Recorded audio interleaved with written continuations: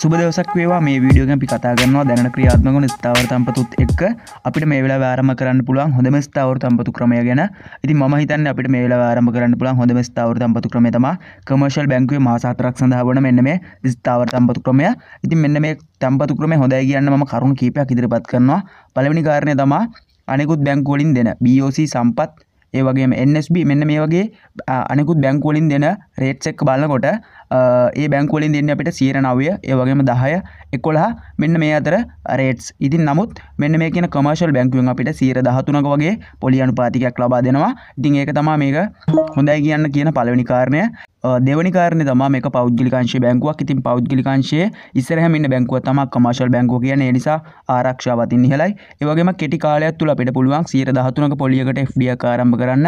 මේ තියෙන වාතාවරණයත් එක්ක. ඉතින් ගොඩක් බැංකු අඩු රේට්ස් දෙන වෙලාවේ මෙන්න මේ වගේ 113ක් දෙනවා කියන මාස 4ක් වගේ කෙටි කාලයකට ඒක අපිට ගොඩක් වටින අවස්ථාවක්. ඊළඟට තමා මේකේ අවාසියක් තියෙනවා. මේ කමර්ෂල් බැංකුවේ මෙන්න මේ මාස 4 FD එක දාන. අපි අනිවාර්යයෙන්ම රුපියල් ලක්ෂ 5ක මුදල ඩිපොසිට් කරන්න ඕන. මේක තමා අවාසියකට අපට පෙනෙන්න්නට තියෙන්නේ. සාමාන්‍යයෙන් අනිකුත් බැංකුල රුපැල් විසි පන්දහක වගේ මුදල ඩිපෝසිට් කරලත් FD ආරම්භ කරන්න පුළුවන්. නමුත් මේ කියන අවස්ථාවද අනිවාර්යම රුපියල් ලක්ෂ පහක මුදලක් ඩිපෝසිට් කරන්න ඕන. මෙන්න මේ කියන මාස හතරේ FD ආරම්භ කරන්න ඕන එතනද අපිට පුළුවන් රුපියල් ලක්ෂ පහක් ඩිපෝසිට් කරලා සියර දහතුනක පොලි අනුපාතිකයක් සඳහා FD ආරම්භ කරන්න.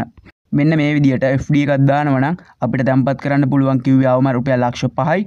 ති රුපියල් ලක්ෂ පහත් දාල FD ආරම්භකරොත් මාසතරක් අවසානදී අපිට රුපියල් විසිදස් පන්සියක පොලි මුදලක් ලබාගන්න පුළුවන් කමර්ශල් බැංකුවෙන්. ඒවගේ අපි රුපියල් ලක්ෂ දායක මුදල ඩිපෝසිට් කරන්න බලාපොරොත්තු වෙනවන එතනද අපිට පුළුව රුපියල් අතලිස් එක්දස් එකසීයක පොලි මුදලක් ලබාගන්න ඒවගේම රුපියල් ලක්ෂ පණහක් සඳහ යනවනම් එතනද අපිට පුළුවන් රුපියල් දෙලක්ෂ පන්දාහක පොලි මුදලක් ලබාගන්න ඉතින් මෙන්න මේ කියපු සියලුම පොලි මුදල් සීර පහේ ටැක් ටැක්සෙක් කපල තම හදල තියෙන්නේ. ඒ නිසා යමුතුවෙන් සියර පහක ටැක්සයක් අඩු කරන අවශ්‍යන ඉතින් මතක් කරනවා තාම සබස්ක්‍රයිබ් කරනත්තන් ඉදිරි වීඩියෝ සඳහා අනිවාර්යයෙන්ම වීඩියෝකට ලයික් එකක් දාලා සබස්ක්‍රයිබ් කරලා එකතු වෙන්න.